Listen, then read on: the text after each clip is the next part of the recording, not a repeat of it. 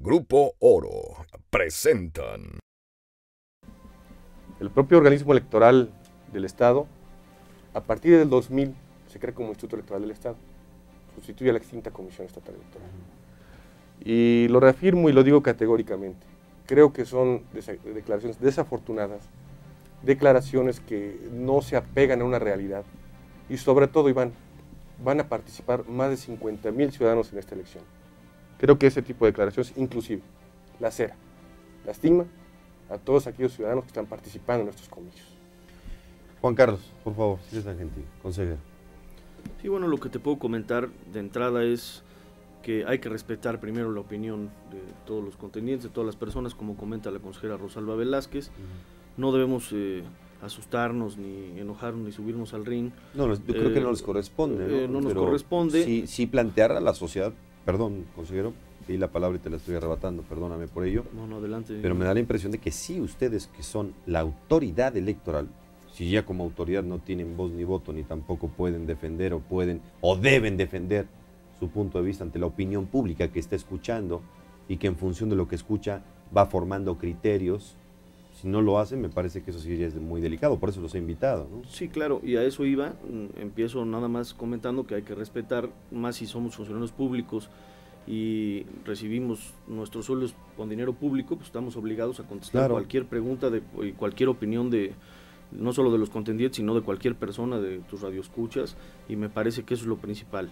En cuanto al punto, eh, pues ya se manejó que fuimos elegidos por unanimidad, pero eh, también decir que había una serie de requisitos que había que cumplir, que marca el código electoral, para presentar tu documentación al Congreso. Ujú. Y en este caso, bueno, yo te puedo decir, soy abogado y pues sería inaudito que hubiera yo violado alguna, porque dice que está viciado de origen, ¿no? Entonces que hubiera violado alguna de los requisitos para ser consejero o en el actuar, eh, pues para eso, vaya, están los tribunales y, y hasta el momento se habla de descalificaciones al instituto, pero pues los acuerdos están ahí del consejo y como dicen el programa operativo anual, como dicen mis, mis compañeros consejeros, se ha cumplido en tiempo y forma. Tenemos ya listo eh, la, tinta indeleble, ya se mandaron a hacer las boletas electorales a talleres gráficos de la Nación, eh, tenemos ya capacitados a, los funcionarios que van a, ser- van a estar en las casillas, que van a ser alrededor de 46 mil. Nosotros como órgano estamos cumpliendo. Y el órgano no solo somos los nueve consejeros, como decías, un grupo de amigos. También están los representantes del Poder Legislativo, como ya se ha comentado, los representantes de los partidos políticos. En cada casilla va a haber un representante de cada partido político, así como en cada uno de los consejos distritales y municipales. Tienen ese derecho. Y los ciudadanos también pueden participar como observadores electorales. Es decir, vamos a estar bajo una lupa. Entonces, hablar desde antes de que se lleve a cabo la jornada electoral descalificando al instituto, pues vaya, no, no creo que sea el momento de, de hacerlo, porque pues los ciudadanos el día del- de la elección son los que van a recibir los votos, los van a contar y van a estar los funcionarios supervisados por los representantes de los partidos políticos. Cualquier anomalía la pueden hacer valer en su momento. De acuerdo. Consejero presidente, a ver, tu punto de vista me interesa mucho porque encabezas el esfuerzo, no solamente estos nueve consejeros de los que estamos platicando, ¿no? Encabezas el esfuerzo de miles de ciudadanos, lo que significa, pues, que ni más ni menos que organizar una de las contiendas más importantes en la historia moderna y contemporánea de este estado de Puebla. Bueno, Iván, comenta- comentarte que bueno, las declaraciones que se dan eh, en un proceso electoral muchas veces derivan de la misma efervescencia política en la cual se vive, de la cual la autoridad electoral, si bien es cierto, eh, es parte, pero es una parte que busca moderar y cuidar precisamente la equidad y la contienda en los procesos, más no es la que va a competir.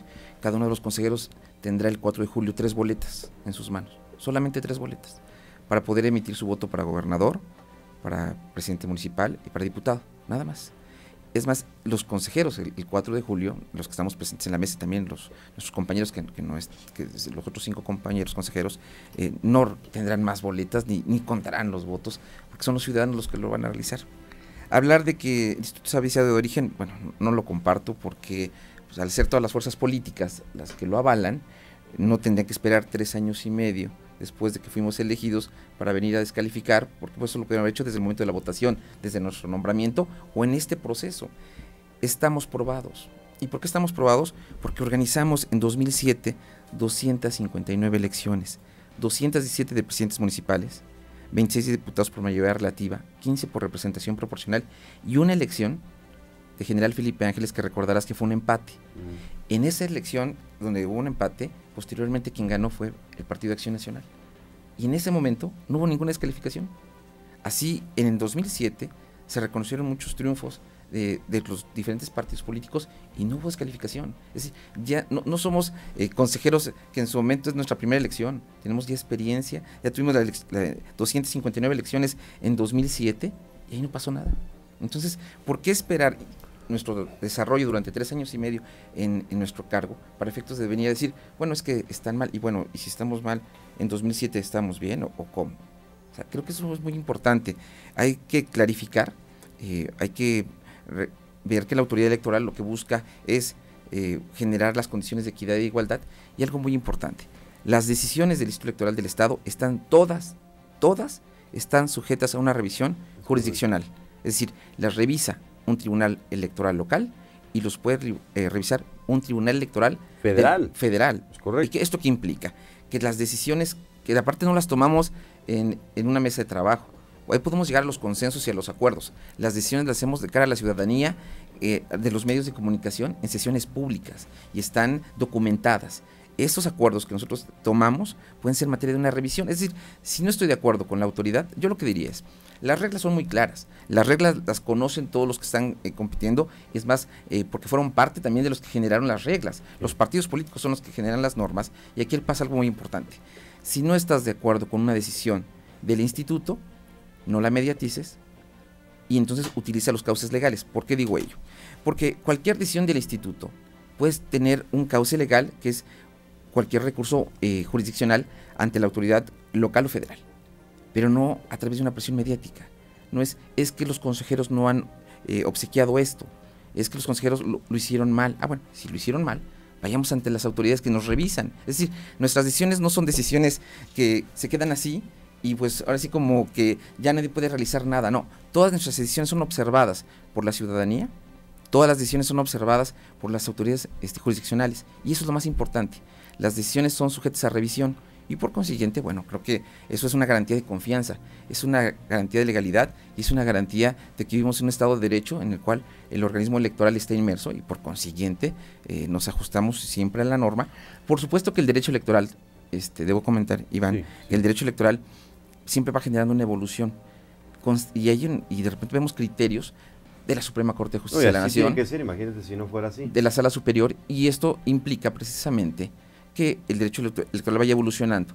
Yo creo que esto es parte precisamente de ello y eso nos trae consigo diferentes puntos de vista y opiniones. Pero lo importante está en que puede estar la ciudadanía tranquila de que vamos, de que estamos actuando conforme a la norma, de que tenemos ya eh, la experiencia de las elecciones de 2007 y que por consiguiente eso es una garantía de que hemos trabajado acorde a los principios de legalidad, imparcialidad, objetividad, certeza e independencia. Bueno, mire, el tema y la finalidad de poder desarrollar esta mesa, cosa que yo agradezco a los consejeros que aceptaron venir esta mañana, por supuesto, y se lo digo a usted, la idea de desarrollar esta mesa después de las declaraciones que ayer tuve en esta misma, vamos, emisión, en este mismo servicio informativo, ni más ni menos que uno de los eh, candidatos a gobierno del Estado, el objetivo para no perdernos es concreto y claro.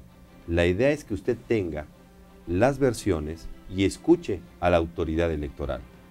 No solamente quedarnos con una descalificación como la que se dio ayer, que me- lo digo una vez más, me parece profundamente, vamos, delicado por todo lo que implica. ¿Me explico? La idea no es sentar en esta mañana a los consejeros para comenzar en este momento un derecho de réplica, contra réplica, subir y bajar y empezar entonces a hacer un programa de desgaste, mucho menos con una autoridad electoral en la que todos en teoría debemos creer, porque pues ni más ni menos son los que están organizando el asunto, junto con miles de ciudadanos, ¿eh? habría que decirlo también. Esto fue una producción de Grupo Oro